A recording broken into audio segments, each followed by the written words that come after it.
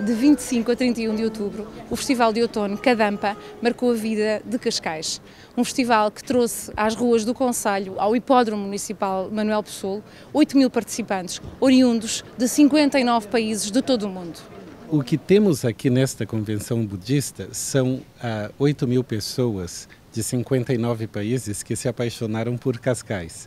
Então, além da nossa organização em si, tem todos os indivíduos que vieram de tantos lugares que vão querer voltar, vão recomendar Cascais e vão querer organizar férias aqui, vão, você entende? Eu acho que todos perceberam que foi um lugar maravilhoso para estar.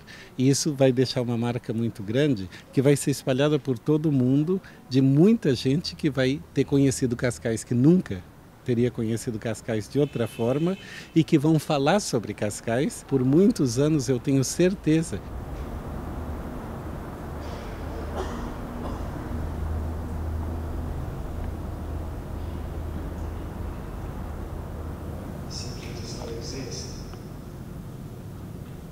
Cascais é como um sonho, é um lugar muito lindo. Ah, dos lugares mais lindos onde a gente já fez festivais internacionais. Todos os serviços para o público, né, que no caso turistas, ah, são excelentes. Então as pessoas que vieram a Cascais estão muito felizes, porque as condições são muito boas e tudo funciona muito bem. A cidade nos ajudou muito toda a organização do lado uh, do, do, governo da cidade nos deu um apoio tremendo e todos os hotéis, uh, as empresas de ônibus, na verdade todos cooperaram muito.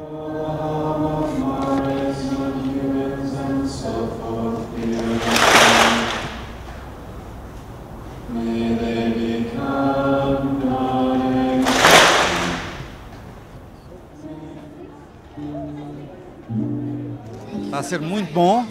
Temos uma clientela que não estamos habituados, são excelentes pessoas, muito simpáticas, muito cooperantes uh, e que gostam muito da nossa pastelaria.